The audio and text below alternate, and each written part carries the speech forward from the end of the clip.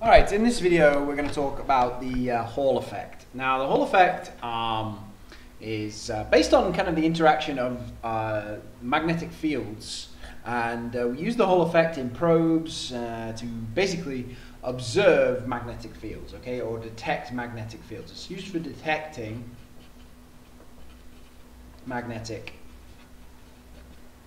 fields and actually the relative strength of those magnetic fields as well, and, and gives us an output about how strong that field is. Um, which has many, many uses, and we'll talk about maybe some of the uses of this actually in lesson. So uh, let, us get straight to it. So say for example, let's have a look how a sensor is actually uh, made up. So we start out with a circuit, and within that circuit there is a, uh, a conductor, but that conductor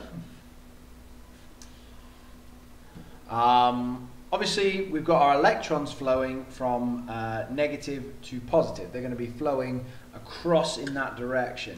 Uh, now, obviously, try not to confuse this with uh, any conventional current, so just make sure we're aware. So, the so if we have our electrons here, um, they would be flowing in this direction, whereas that would leave us with current flowing in the opposite direction, which is this direction here. So current would flow in that direction. Um, as a result of this, we can actually say that uh, we, um, we can observe if we put a magnetic field into this, then we can, I'll just draw the magnetic field in. So say for example we have a magnetic field going down into this conductor right here. And uh, what then happens is, is that we would expect those for the, there to be a force on these electrons as they move across this gap.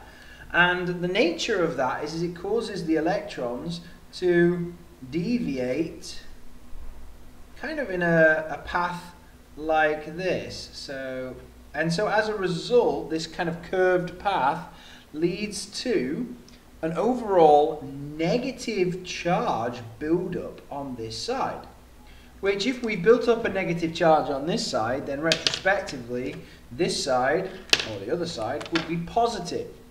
Okay? So the other side would be positive. So this would be a positive side. And so what you've set up now is an electric field. Um, and the potential difference can be measured between those two uh, uh, faces of this um, conductor.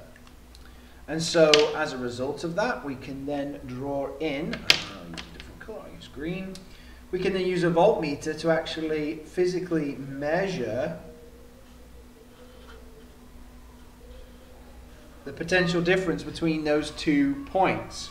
And then use that voltage to actually allow us to um, to measure what uh, a relative strength of the of the voltage that's created. The Hall voltage we'll call this and um, then we can use that to indicate the strength of the magnetic field. So a really, really cool kind of uh, use of magnetic fields um, to create an electric field either side to allow that to happen. So, um, so there is an equation that allows this to all come together, and it's it's born out of multiple kind of equations. So you've got to remember that the force felt here comes out of the fact that of this equation, uh, which the force felt on a, ch a charge carrier in a, in a, magnetic field. And also one you may know from AS, which is the uh, electron drift velocity equation, um, this one here. Now I'm not going to derive that here, there's lots of videos on YouTube deriving that, um, and you can look in your book as well for a derivation. We're just getting straight to it, we're going to have, let's have a look at what this actual equation is. So the Hall voltage is calculated as uh, B times I over uh, N T Q. Now, let's just define what some of these terms are. Okay, um, so obviously B is the magnetic flux density. We should know that hopefully by now. Then we have the current as well. So this is the current. Then we have NTQ. Now, Q is the nice easy one. That's the charge. Okay, that's the charge. Let's write down some of those ones that we've identified there so that we can kind of make a note on them. So um, let's do here. So we've got current, we've got flux density, and down here we've got the charge. And then across here we've got two other terms. Now this n actually comes from the n in this equation here, which is the uh, electron density, okay, or the number density of electrons. So um, number density. And you may or may not remember that the number density of electrons um, is a fixed intrinsic value for uh, whatever piece of conductor that you're using. So uh, usually it's quoted and given to you in any calculations you might do. Now T is unique because T is found by looking at the actual conductor more three-dimensionally. So if we were to draw the conductor a bit more three-dimensionally now, so I'm just going to draw with a pen that works.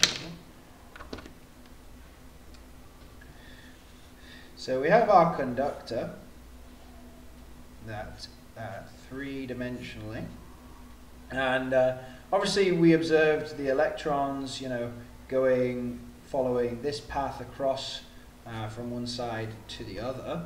And this is obviously our negative side, and this is our positive side. So this is me just kind of redrawing it and trying to draw it a bit more three-dimensionally. Um, so what is the value T? Well, T is the thickness of this conductor. It's this value right here. Okay, it's the thickness of the conductor in uh, that is actually allowing those electrons to pass through that's measuring the magnetic field. So the thickness um, is the thickness of this conductor. So the thickness.